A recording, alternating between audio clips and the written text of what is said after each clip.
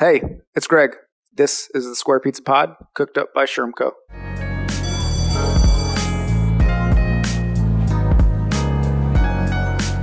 Miss Nicole Jarbo, so great to have you back on the podcast. What's up? Hello, I'm so happy to be here.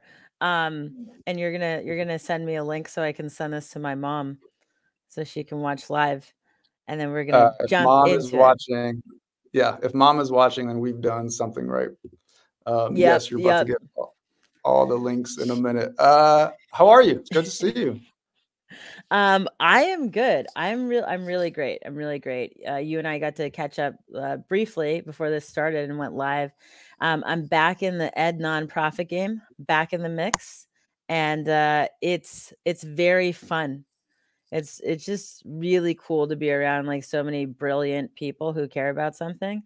Um, you know, I try to surround myself with those people, but I've been energized for the past like two months. It's great. It's Yeah. better than I think what most most adults can say. Um, we'll definitely get into that. I dropped the link in the comment chat or in the comment section, so you should be able to pull it. Nicole and anybody else who's watching us should be able to pull it as well to share it. Cool. Um, yeah, I think a few things for our listening audience, right? So, like, obviously, you everybody knows Nicole Jarbo; she's world famous. Uh, part one. Part two is that she's one of the few guests to jump back on the podcast, which I don't know if that says something about me, the host, or just our guest, but nonetheless, we're happy she's here. Uh, but for those keeping track at home, she joined back. wait, This is also kind of crazy. It was almost a year ago to the day, two years ago, when you were on the podcast the first time chatting Oh, about really? good best other things. Yeah, so it's like almost it's it's our. This is great. It's our two year anniversary, and then you have another. oh my gosh. Yeah, but that's not with- for a while. Don't Okay. don't like uh take the shine away from our two year anniversary. Uh that's that's in June. It's totally fine. Uh, that's so funny. I think I knew that, but um yeah, I was like, oh March, March. Uh time just Yeah. like flies by so fast. Yeah, that's crazy. Um, now we can talk about all the disastrous things have, that have happened since we were last here together. and all the things that we will fix. Um, yeah. okay, and then you uh you're in Oakland today, right? How are things going in Oakland? Uh, things are going great in Oakland. The sun is shining. That's all I really like want these days in my life is the sun shining. And um, you know, did I get some sleep? And is someone yelling at me? You know, I, I don't actually like the yelling part. Is someone not yelling at me? So if all those things are happening, I feel like things are they're solid, really solid. Uh, Sometimes when people ask, I tell them that like I, we made payroll last month. It looks like we're going to make payroll this month, and I have food in the fridge. And it's like check one, check Yeah. two, check three. Everything else is gravy. Yeah, yeah, exactly. So I'm doing good. I'm doing good. I'm like really excited to have this conversation too, just because, you know, coming back into this space, and obviously some folks might not know me, um, but coming back into this space is just like it's a serious homecoming. Um, and it's Mm. not just like it's not just you know that person that you knew, you're in the same place, you smell the same smells. Um, it- it's helped me actually kind of re-engage with I think who I am and like what's important to me. And so I'm still like riding that riding that wave right now. Um so let's not mess it up. I'll do my best. no pressure. No pressure. I'll do my best. Um, yes, it is very good to have you back for a number of reasons. Uh, we were on like a really fun California string. So we had um, Ali Medina recently from Oakland, the Oakland Public Education Fund, which maybe you know. Uh, I which do. I'm sure you do. Yeah, we had um, Irene Shee recently from the Bay Area and My Matters Bay, and now you. So we're uh, we're gonna need to open a West Coast uh, Square Pizza studio here soon, so we can be more accessible to the people in. Uh, As long as I can creep around it, I'm fine. yeah, But yeah, really really phenomenal women. It was really cool to kind of listen to the podcast because I've been following both of their work for some time. Um Oh, cool. but yeah, Oakland is full of great people. I'm I'm pro Oakland for sure.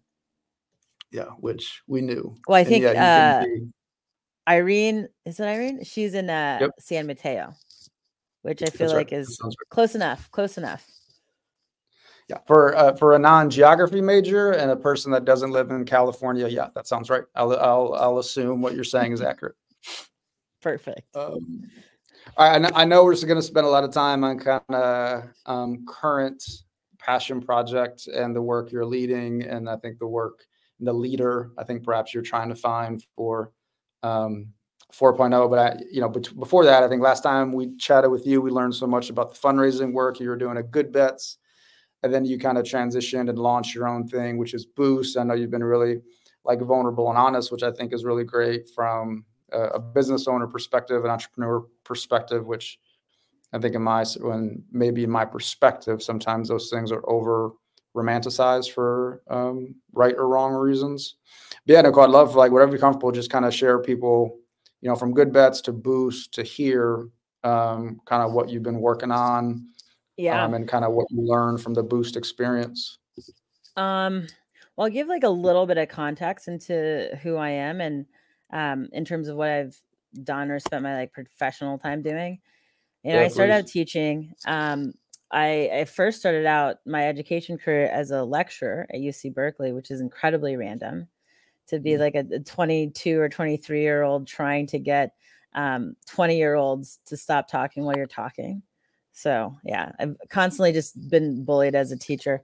But uh, I started that. And then, you know, I really wanted to get on the ground. I was in grad school, and a lot of folks were like, hey, your head's in the clouds. Like you have all these ideas, but you don't have any, you don't, you don't know what it's like at all to to actually, you know, do this work. Um, and so, you know, don't threaten me with a good time. I decided to go to probably the hardest place um, I could go to with the hardest placement. So I went to New Orleans, Louisiana, obviously post Katrina um, through Teach for America, and I taught uh, special education. And so, you know, that's just such a, a trip. I, I want to be brief for the sake of time, but I would say that that really shaped kind of what I thought was possible, um, not just mm. for for people in general, but just for myself. And so I think I always kind of, um, you know, starting my professional career had this little like entrepreneurial like desire in me. I didn't know what an entrepreneur was. I didn't know anyone who had started a business at that point, but uh, this sort of spark was starting to to develop um, in me. And so uh, I was in New Orleans. I got uh, a chance to be part of this really cool uh, educational um, entrepreneurship community called 4.0, which I'll talk a little bit more about in a second. Uh, but I just met a lot of really cool misfits. A lot of them were teachers, some of them were developers, you know, some of them were doing different things in the city, uh, but we're all brought together by this desire to make education better. And so, mm-hmm. um, met a ton of people, expanded my horizons, um, really started to identify as a founder. And so I went and taught high school after that. And so I, I helped found a, a, high school in New Orleans. Um, again, this like spark of entrepreneurial energy. And even though we don't consider maybe a, a founding teacher at a, a high school, you know, an entrepreneur, I think we should. I think we should start thinking a little bit differently about folks who are um, courageous enough or stupid enough, depending on um, when and where you ask them, to to try something new, to push their own limits in service of doing something much bigger, right? So um, I, I think that's kind of where a lot of that started for me, and I just got really curious about everything. Um, after being in 4.0, I realized that a lot of the challenges that actual entrepreneurs were facing were around funding. And so I mm. ended up uh, moving to DC and working as a philanthropic advisor uh, with folks where I was really focused on helping them learn about the educational innovation landscape, the reform landscape, uh, workforce development, uh, economic sort of opportunity. So these different areas. And I really get to talk to people who, you know, themselves were incredibly wealthy, like richer than you could probably ever imagine. I was telling a friend the other day, my first assignment there was to memorize the 400 richest families in America. And so to just get a sense of how, you yeah. know, I had to orient myself.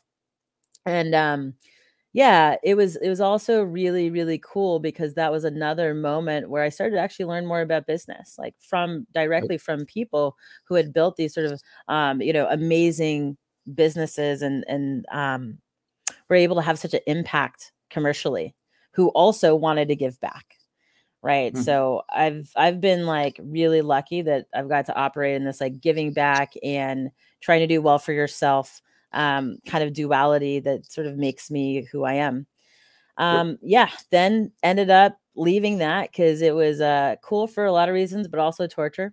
So I mm. left and then went back to the entrepreneur side, worked at some charter schools, um, did some fundraising, and then uh, started Good Bets. And so this is the mm-hmm. point um, in our relationship in which we've met, like our origin story. Um, I started Good Bets, which um, grew into basically a consulting, a little consulting practice that um, was helping people who wanted to build really ambitious projects, but from the get go, in their DNA, have them fundable or mm. sustainable, right? And so I had this really unique experience where I actually worked with donors and kind of knew what they wanted and potentially had empathy for them and their billions of dollars.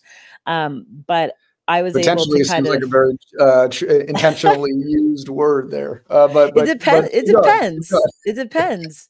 Um, I have met some of the coolest billionaires ever, and um, some of the not as cool billionaires. But you remember, there's a filter because all of the people I met actually wanted to, you know, give money back. Some bias, yeah, yeah. So, um, yeah, there was a bit of a filter, but uh, you know, you still meet all kinds. But yeah, I was super thankful for that experience because I didn't know at the time that it was giving me this really rich um uh perspective on how to how to help people who looked like me who you know maybe were also like a little rough around the edges how to help them better communicate what they were building with these people and so um good bets you know the name actually came from uh the work I was was doing with philanthropists where they would do this thing where they called everything a bet.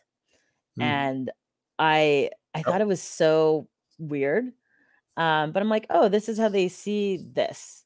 Like it's all it's all a gamble.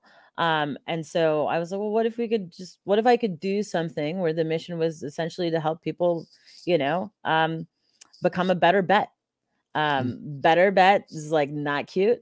So we went with good bets.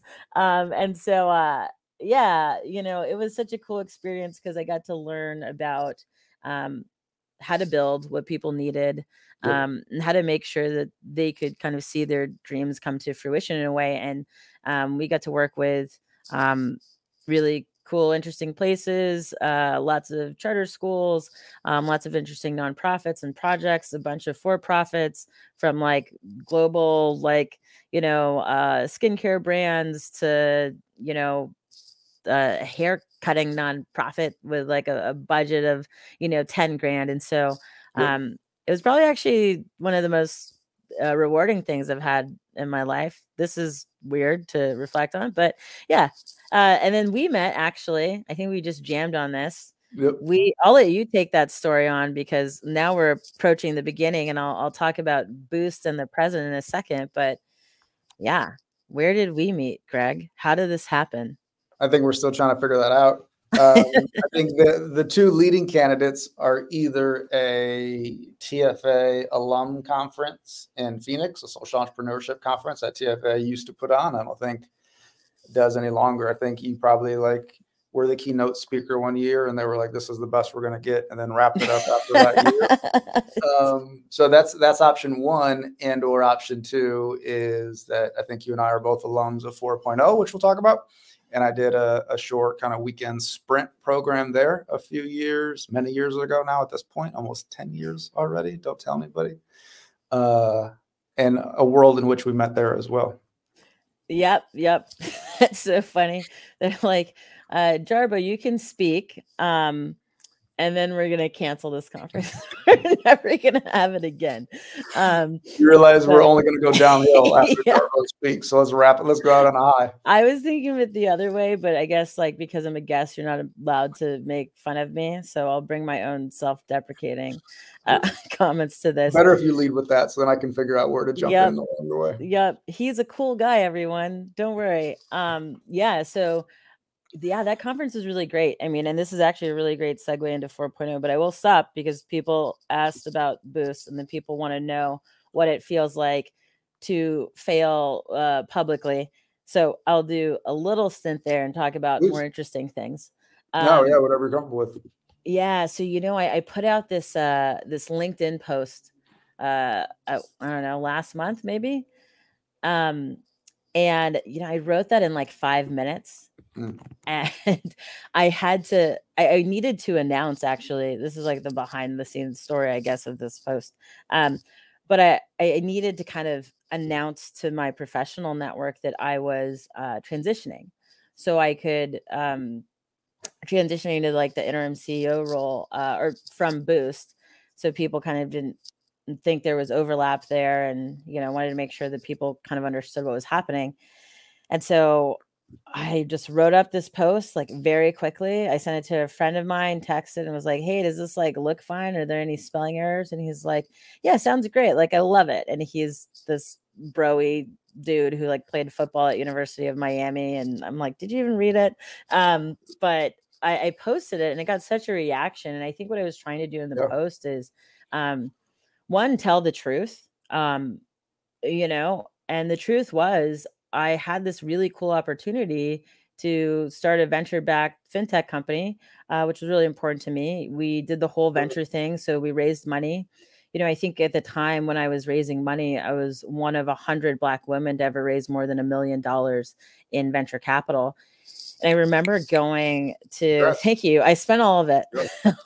it's all gone. Also, um, I mean, better than not spending it. That's what you're raising that's for. True. Spending, that's right? true. And I have I have some spending stories on that. But um, one of the yeah, I went to DC actually to visit a friend who I played soccer with at Cal, um, who's now yep. some big shot lawyer, and and we went out to brunch, and you know, I told her I told her this, um, and she was like, "Oh, you mean a hundred black women like this year?"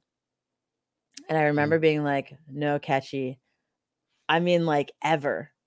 And ever, I, ever. uh, yeah, ever. I just like putting a point on that is very funny, like to me now, because it, it's just a good reminder of like how far we have to go. Mm. Um, and, uh, and yeah, so I did that. Uh, we, we ended up raising, you know, uh, more than that. And, um, trying to make something work for Gen Z aged people really was a market who, you know, had to manage more than one way to make money.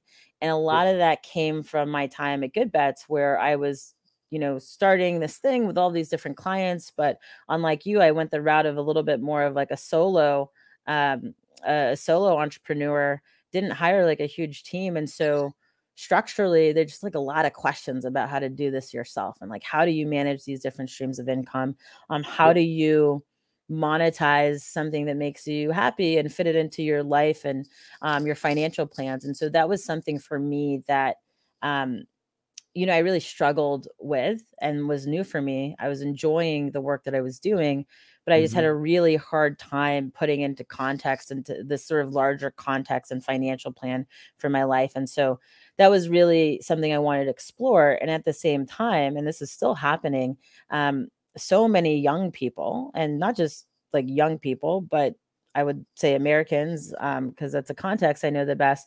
But so many Americans, like, of course, they're living paycheck to paycheck, which obviously doesn't feel good. But I think there's some sort of silver lining for some folks who maybe are oriented um, like more like me, which is, well, if I need to make more money, how can I do that? How can I leverage mm-hmm. my skills? How can I um, make a difference in a way that would allow me to more easily pay my rent? Right.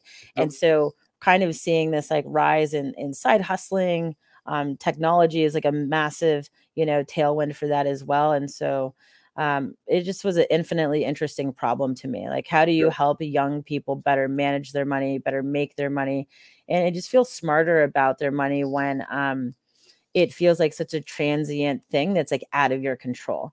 Mm-hmm. And so that was the thing that we were just kind of jamming on and on Boost, and and then towards the end of the work, we went more towards debt, um, and that was kind of following the signs of the market a little bit. Mm-hmm. Um, you know our consumer debt is out of control sort of highest levels that it's it's ever been um, across everything um, autos uh, credit cards etc and so wanted to do that and then simultaneously uh, folks might know that last october people had to start paying student loans again and we had worked with this population who basically got out of college knew they had student loans but had never paid one and so you know, for years because of forbearance and COVID yep. stuff, et cetera, they had uh, no sort of context into that. And so, you know, we tried to make the quick pivot with very little cash in the bank. And, um, you know, I think I read this in the post that at the end we just didn't have any gas in the tank.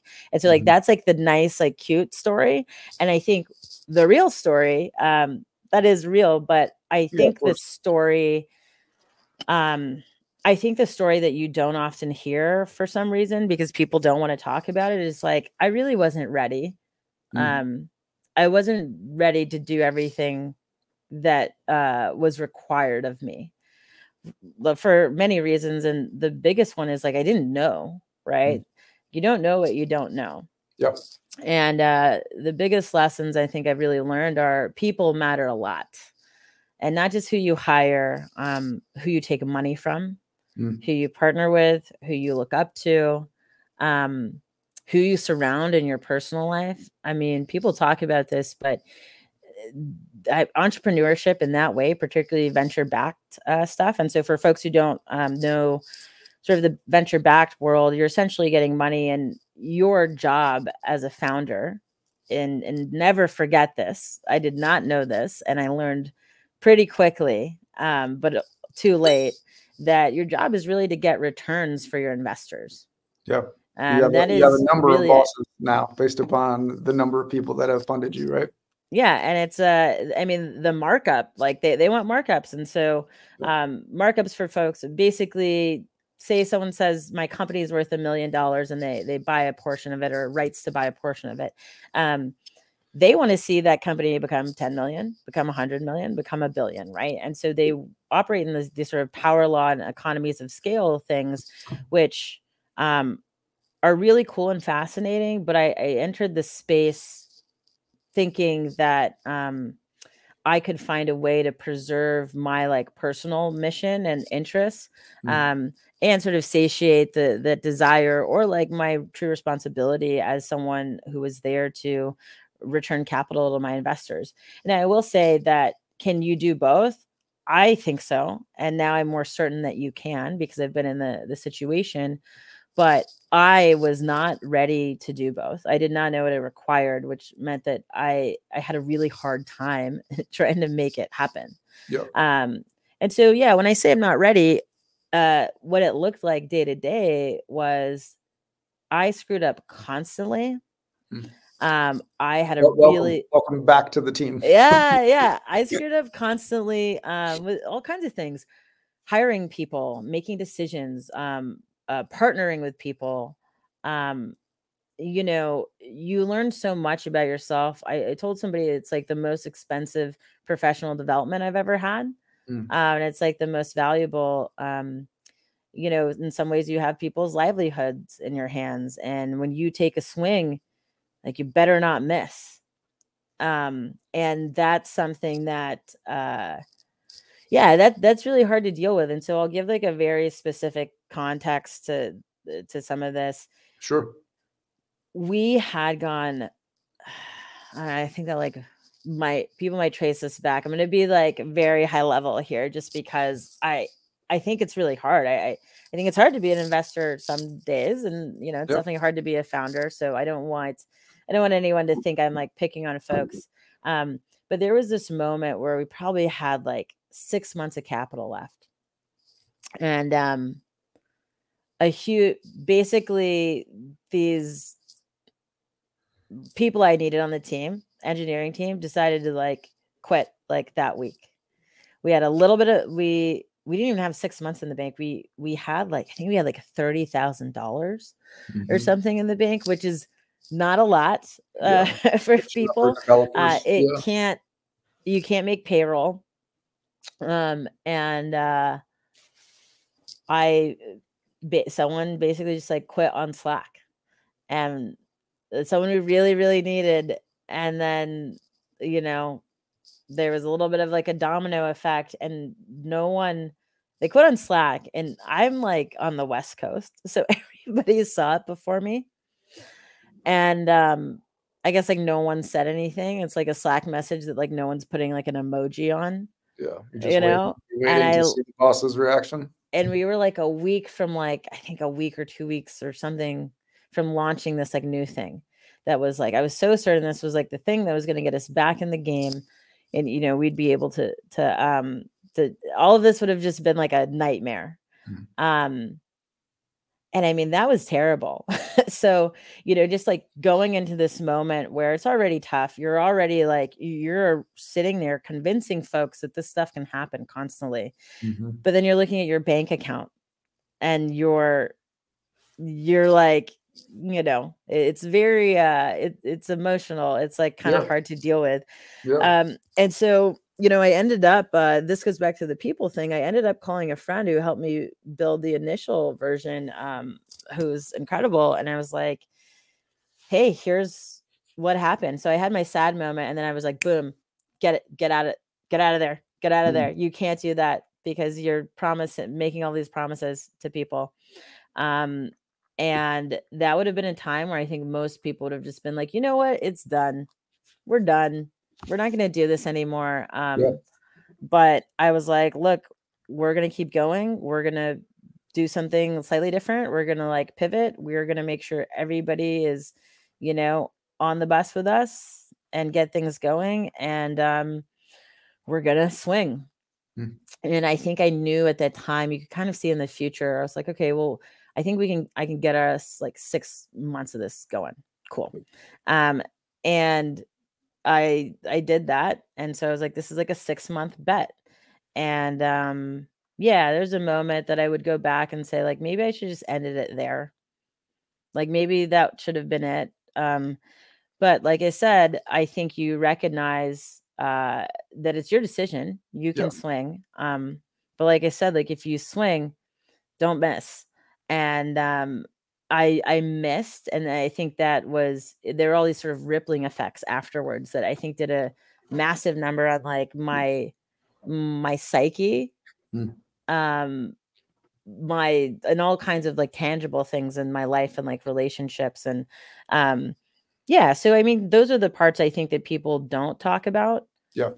Right. Um, and there's a lot of moments like that, but you know, I think it was a good experience. Uh, I would maybe do it again, uh, but do it differently. But yeah, so for all the people who want to know what it was, like, I mean, uh, I made a lot of mistakes, and um, but it was a cool experience.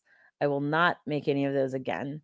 But I, I think the reality is is that um, we can better prepare people for that kind of opportunity. And actually, it's a great segue into 4.0 because the, the truth is like we have to better yeah. prepare people um, to to build things that don't exist. And who not, you know, then in a better position than you to do that from both like your passions and your skill sets, but also the most recent experience, right? And yeah, I want to go to 4.0, but I, I would just yeah. say thanks for for your vulnerability and your honesty, right? I would say um, obviously not common in this space in entrepreneurship yeah. and, and business owners, as you mentioned. So kudos for you for doing that. Um, I'll be semi vulnerable back to you. And like, so part of my team uh, feedback from our last team retreat was they wanted me to be more vulnerable, mm. less around like mm. business stuff and more around personal stuff. Um, so I think that was interesting to me and also something I'm working through to try to be a better leader for my team as well. Um, but I think for your ability to do that, your willingness to do it is incredible from afar. And so again, kudos. But then also, as, as you've said too, Nicole, like it's not fatal necessarily. I know it's yeah. tough. I'm not minimizing it. But I think to your point, you and I understand this when we say it is it was tough. There are scars. There will always be scars, but you're obviously still physically standing, or I guess maybe metaphorically standing, currently sitting, uh, but probably could stand if you wanted to, and like still ready to fight another day, and like now have this yeah. cool opportunity at at 4.0. Yeah, I mean, I appreciate that. And what you just did is called mirroring.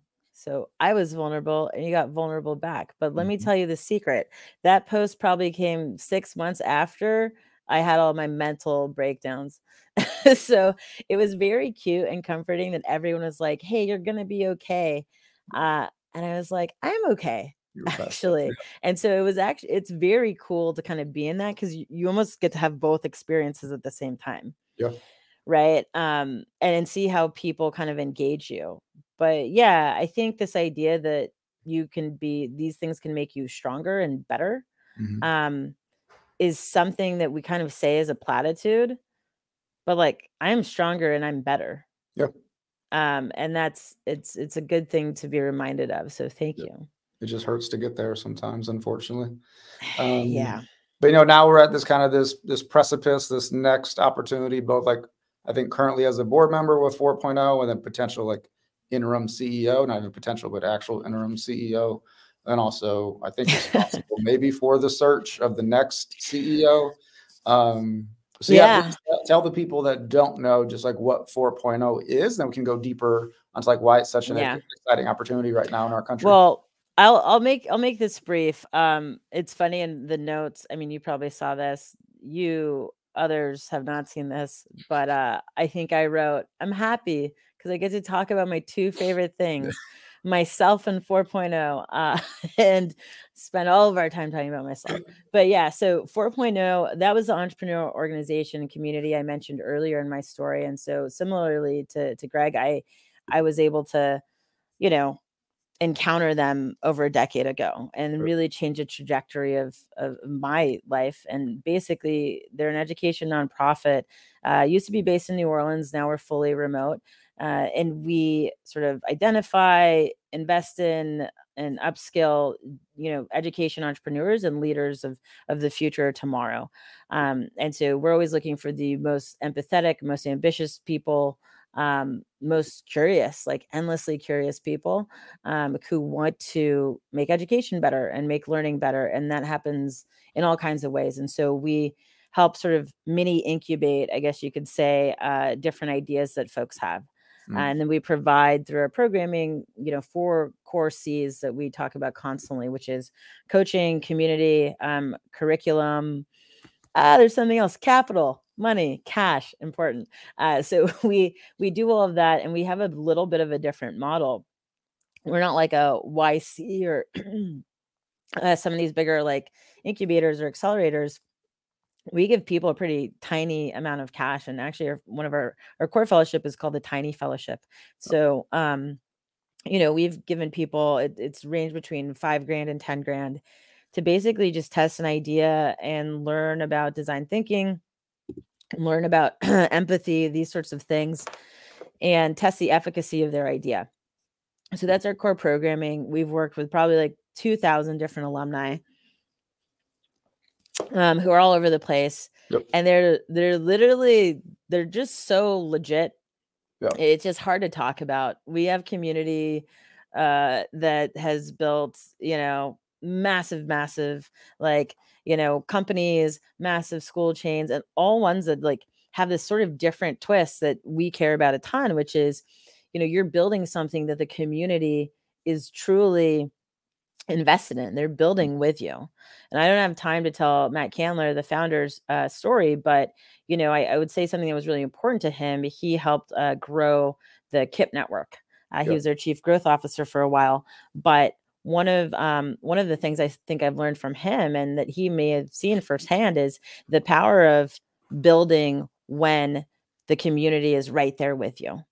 Yeah, building, building next, with, not building, building exactly. For, right? Yeah. And so I had never really heard of that. Um, I thought business, products, services were just something that some genius kind of, you know, threw together in their garage and like gave to people. But the reality was um, Matt and that core group at 4.0 and Hassan, you know, um, after Matt had really solidified this as part of like our ed innovation culture more broadly, yep. uh, is that the the way to do this right is to do it with people and you I've just seen it over the last decade permeate into how funders talk about their work. You know, I was just doing this thing with um, New Profit, which is a huge intermediary social entrepreneurship funder um, in Austin. Yeah, we were. I was with them in Austin, and you know they were talking about proximity and all these things, and I'm like, where did you hear about that? And so 4.0 has a little bit of a casual way of, of talking about those issues. And then we let all the, you know, the management consultants can make them nice and pretty and and put some chevrons on their decks. But uh I I think it was really it's been really really cool to see how much the that initial sort of DNA um, has kind of made it into like the the greater ideology of the space. Like if you try to do something to people in ed innovation right now, it's not happening. Um, it is not allowed. um, you will be canceled. Um, I don't think canceling is real, but uh, some people do. So yeah, it's a it's a great org, and yeah, and we're looking for our next CEO. Yep. Um, and you know, I think what's important as someone who's been on the board and part of lots of different programming, and um, you know, the the organization is incredibly special. Um, I've talked to dozens of alumni in the past couple of months, and I talked to one yesterday who, you know, is now doing seven figures and massive state contracts with their with their work. Um, and she was like, I would not be here without 4.0. It literally gave me the confidence to do this, the network of people I could go to and ask for help. Yep. Um, and it just it cleared the path and it made it so I could pay rent for a couple of months and like really again swing right and yep. i think the idea for the next generation of 4.0 is um, we really started with a fail fast mentality um, and i would love to see the organization as a board member go into what i was talking about earlier which is a mentality where like you swing and don't miss and it's mm-hmm. not that missing like you'll be okay if you miss but like what if you didn't miss yeah. what if like what if you built something with the community and you took a shot and like you made it what if you made it every time like i'm just so excited about that future for the organization and so you know we're looking for somebody who um they're they're okay with you know charting out a future vision and you know within that of course we want this sort of visionary person but like someone who's trustworthy and we know mm-hmm. will stand um in alignment with our values of building people up of hospitality um, you know, of community. Like those are the things that I think are, are, are pretty critical. Um, and you know, the last thing I would say about this, uh, as I've gone back into the mix and hung out with a lot of my old funder friends, um, I was asking them about, you know, I'll be honest, like the the funding prospects in the future for our organization. Of course, yeah. And uh, always easier to ask at a happy hour. I will say. But uh, I was like, just tell me the truth. Where are we? We just got the title of the podcast. There it is. Always easier to ask at the podcast. Yeah, exactly. Uh, and so, um, you know, I heard pretty consistently, and I'll sum it up as 4.0 has a really distinct position in the ecosystem. And that uh, in this education ecosystem, and and it's really here to um, to bring new innovations to the space. Uh, and that I heard that over and over again. And it was really this line that like got to me. It's just like, we're waiting for 4.0 to do something new. Mm-hmm. And um, yeah, that really hit me. And so I think when we're looking for this new person, um, they really have to believe that that is part of the value proposition of the organization, yep. that we're here to lead. Um, you know, when we started with some of these fellowships, I mean, you know, back then we are the only game in town. Sure. The the the only place saying, "Hey, you got an idea? It's good enough. Try it. We'll help yep. you." Um, and and now that's not the case, and that's great. But it means that it's time for the organization to evolve, um, and build, uh, you know, build something new. That's really cool. Yeah, I want to stick on the new part. I want to also offer maybe vulnerability, maybe not. 4.0, yeah, is great. Um, in general, I was like, remember stalking them after school when I was teaching in Charlotte. Like, man, this organization looks so cool. Like, we don't have anything like this in Charlotte. I got to go for the fellowship a few years later just for that weekend. I was like, great, I'm just going to open this in Charlotte. I was like, we need one. There's money here. We're going to do this. And then after about five swings and misses. I was like, this shit's hard. Like, we're not, I'm not to open this shit in Charlotte. Somebody should, but apparently I'm not the one to open it. Uh, so like been a long time admirer of like Matt and the crew. Um, and like all the work 4.0 was done. And I think, yeah, really cool that you are kind of leading the charge, but also the organization is at this nexus point with where we are in 2024 with everything else happening around education. So I think with that context, yeah, I would love to know like what is new to you and also like what is exciting to you knowing that like you may be not be able to craft it and so we might just yeah. be like sharing ideas right now but what does what does new 4.0 look like new what does new 4.0 look like um all right y'all for all of you uh applying Um, yeah, take notes, right? Tell you, tell you. you hear this in the third round interview. Like, oh shit, that's a good yeah. idea. I wonder um, how they thought um, about that. I think, uh, I think the organization needs to do a couple of things. I think one of the things it needs to do better um, that I'm excited about, and I get to do some of this work while I'm here for this short period of time, is uh, tell these stories. Um, I uh, I just spoke with an alumni a little bit earlier today who said they were speaking to another alumni who also happened to be a very very early funder mm-hmm. um, of the organization, and that this this guy told her um, you know, 4.0 doesn't make any lasting ventures. And uh, I was just like, how misinformed is that guy?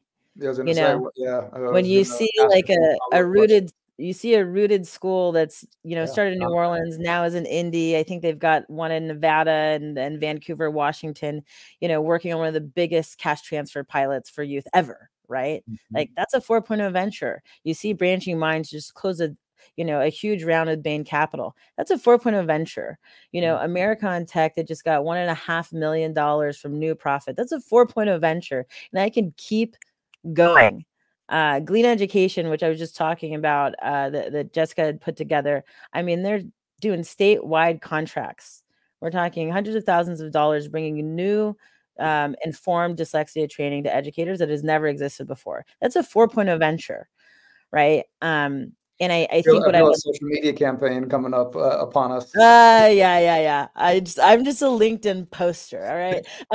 um, but uh, it's I would like to see that and Boost, even though it was in the fintech space. I mean, it was funded by Precursor Ventures, January Ventures, um, the House Fund at Berkeley. All of these, incre- like Boost, is a 4.0 venture. Hmm. Um, the, you know, we might not think about it the same way, but all the skills I learned here, the relationships I had, some of my first angel investors were 4.0 alumni. And so these stories, you know, are so important because I think the the future of 4.0 um, is really about telling a real story about cross sector collaboration and how it's necessary for us to make education better. We need better board members. We need smarter superintendent. We for sure need smarter superintendents. Uh, we need smarter investors, funders, people who, you know, are ambitious, they're sophisticated, but they're kind. And, uh, you know, I think that's where I would like to see 4.0 on the sort of external side. And I think internally, you know, that's really going to be up to doing what they do best, which is listening to, users community and i'd like to see the organization spend more time on the, this community i'm talking about and making sure they have the support the social capital and are continuing to build the social connective tissue that will allow all of us to to thrive yep. you know so that sounds like a big job and uh, i'm excited to kind of see you know who's interested in this work because i can't think about anything that uh, you know would would be more meaningful yep. than to see this organized and structured in a way that works and also like fun like we need more parties let's let's bring our parties back Amen. those those were always a win what I know you're maybe naively optimistic like I am, and I think everything you said makes sense, but it only, I would argue, makes more sense if the funding community is willing to fund it. So I guess the question to you is like, with the right amount, with the right leader and the right amount of clarity, is the funding community ready and prepared to fund for to continue to fund 4.0 and the next vision of it to continue to make it successful in your opinion good question we also need a fundraiser because that's in our faqs but i'm going to say yes okay. and I, I won't call myself naively optimistic here uh, okay. i think i'm pretty practical okay. um and me. something that's yeah um and and something that's going on right now that's not talked about very much in in our space which i, I have a couple of theories why um, we're about to actually you know enter this period of time where we're going to see the largest wealth largest wealth transfer that we ever have. And so there's a world in which I was in philanthropy where there were lots of antique looking chairs and like you know, meetings at the top of the Transamerica building and, um, you know, this sort of culture of philanthropy that sort of harkens back to some of these initial days of American philanthropy, like the Carnegies, um, you know, Fords, Rockefellers, et cetera, where people were giving for different reasons. I think that that that period of time is behind us. Mm. Um, in the same way that I think that in ed reform and ed innovation, some of those initial leaders who brought us major charter networks or, you know, really big nonprofits um, that have been around for decades, like it's it's their time to retire, you know, respectfully. Mm-hmm. It's it's it's not their time anymore. And so when I think about this next generation of philanthropists, they're in the 4.0 community.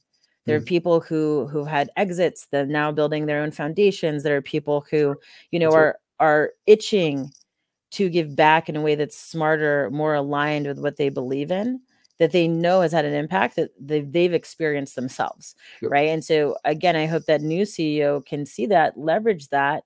And um, I think that what's going to come along with this, and this is another place for 4.0 to do something new, is to truly model for people what it looks like to be supported by your community. How do you find sustainability with your community? How do mm. you, you know, do true value exchange? Um, I think that's big work, but it's definitely not impossible. Mm. Um, we have too many models outside of education of of doing that. Like, let's bring it to ed. Like, you know, again, that would just be so fantastic. And I think the funding's there. And um, you know, I think funders like peer pressure. I, I think when you look at for better or know, worse it's it's usually like worse, but I yep. think we can make it leverage it into better. Um, yeah, people get bored. People like novelty, and 4.0 um, has always been good at staying like right at the forefront of like the cultural changes that are happening for people mm. and educators in the space. Um, and and this will it'll continue to be a place that people look for in education to see what the future looks like. And our new CEO um, is just going to have to they're just going to have to remember that and know that they they're coming into an organization with a major legacy, but with a ton of assets. I'm guessing they'll have some friendly board members remind them of that if they uh, get mis misaligned. Oh yeah, I love being on the board. I'm like, call go, me, but don't track. ask me to do anything.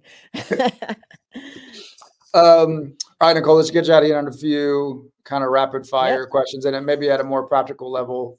Uh, where should very talented, very interested, very smart, very diverse people apply for this role? Oh, I should have had that. Um, uh, there is a, let's see, because I'm at the computer. The O4 organization um, is running this amazing, okay. amazing search firm.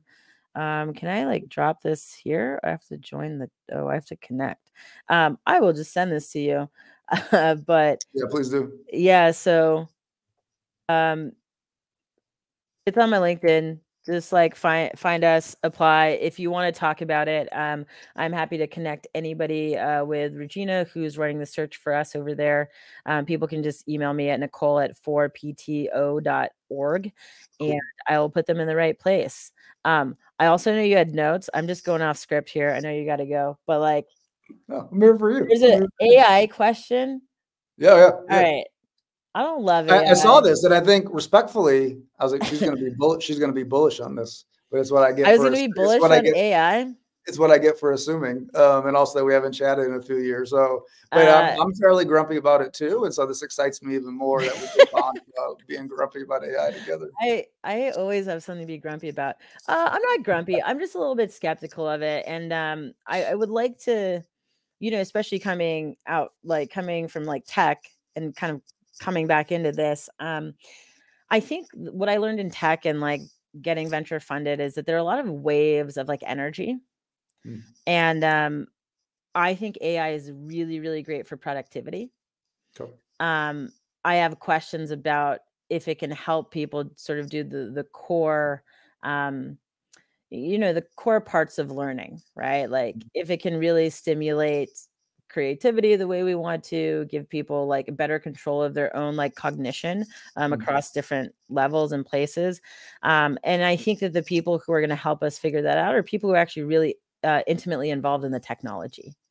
And so when I, I see folks being like this makes things easier and i'm kind of like do you know how that works? Um, and do you know why it works and so, you know, I have questions about that. And uh, I think I wrote you a message uh, on, on our notes. Like, I'm actually wanting to see people be more interested in in other areas where there are just new use cases being developed because the technology is truly truly new hmm. LLMs and all this stuff, it's not new. It's just more accessible. And right now they've been really great for productivity. Um, and that's that is amazing. Um, but I think what happens is that like we all as like a species tend to like get better and smarter and elevate. And so I'm always looking at like kind of core technology that like allows students to do the stuff that we did with them um, in a way that's experiential that actually speaks to what we know works about learning. Sure. And so one of the things I'm, I'm, looking at a lot that I really like is spatial computing. Um, and so, you know, this is like Apple Vision Pro for people who don't know, uh, but it's just this is like technology that pretty seamlessly brings the virtual world um, in connection with with sort of like the physical world. Yep. And so you can kind of think minority report where you're, you know, going through your little computer screen, but you can kind of see the background of your living room in the same place. Yep. And uh, I'm much more interested in folks working on that stuff. There's this guy, Jonathan Teskey, former meta guy, running something called Reframe XR.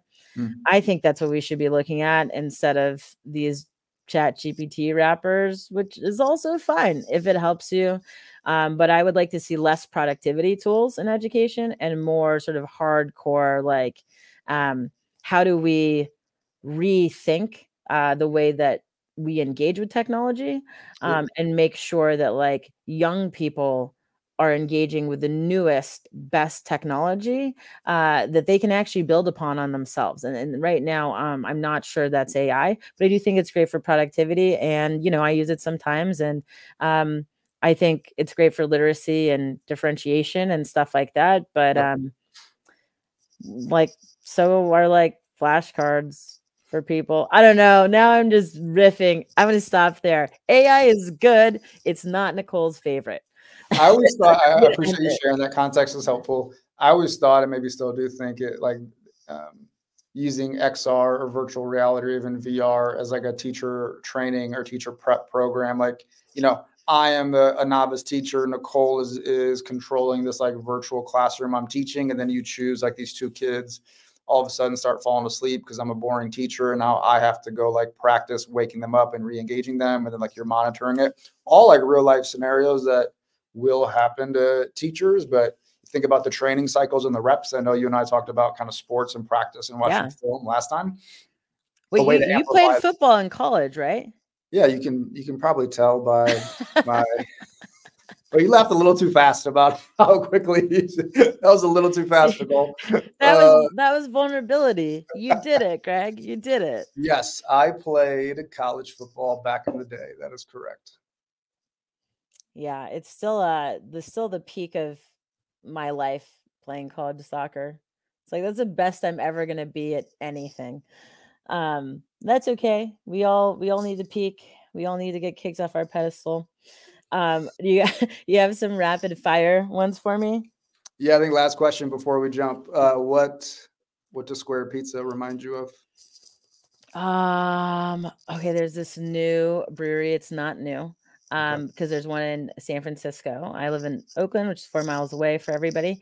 Um, a place called Cellar Maker. It's like a brewery. Okay and uh, they they have square pizza, and I think it's like it's Detroit style, right? So, some. Oh, are you yes. about to school me on this? Please do it. Some people uh, call Detroit pizza square pizza. It's technically true. I think the origin of the name was from like square, more rectangle cafeteria pizza that they served mm, yeah. back in the day, um, which is how the uh, name originated for the podcast, but I think some people call Detroit Pizza Square more like deeper dish situations. Uh, but if we're being completely honest, the thought was more cafeteria, than square pizza mm. days. I feel like I offended you by saying that. Um, but yeah, there's this uh, there's this brewery out here uh, called Cellar Maker, and it's what I order. Um, but the the thing it really reminds me of is that place. What that place really reminds me of is um, Oakland is a place where um, it's just been really transient. And, you know, whenever I see a new you know that brewery is like semi new when i see a new place crop up like a new business i just get like really hopeful for the future of the city um, I, I, really love the city and I want to see more of that. And so when I see sort of hipsterish and yuppie uh, things pop up, uh, you know, it's complicated, but uh, I do appreciate that, uh, you know, the city might be on an up and up. Yeah. So to summarize, we're saying uh, bearish on AI, bullish on yuppie hipster establishments. And pizza that comes in a square always bullish on pizza. Um, even better when it's a square. But That's yeah, perfect. hope for all. Hope for all. Nicole Jarbo, thanks so much for coming back uh, and joining the podcast. And uh, we'll certainly be kind of sharing, obviously, this episode, but also the opportunity to join and lead the incredible team at 4.0. And um, appreciate you jumping on to share about the incredible work you're doing, the incredible work the organization is currently doing, and the new work they'll be doing soon as well. Awesome. Let's go. I love it. Thanks for folks who stuck around. Awesome. Thanks, Nicole. Thanks so much for checking out Square Pizza Pod, making a few selfish requests. If you enjoyed the episode, please leave us a review on Apple Podcasts. It helps spread the word about the podcast and share this with a friend. We appreciate it. Thanks.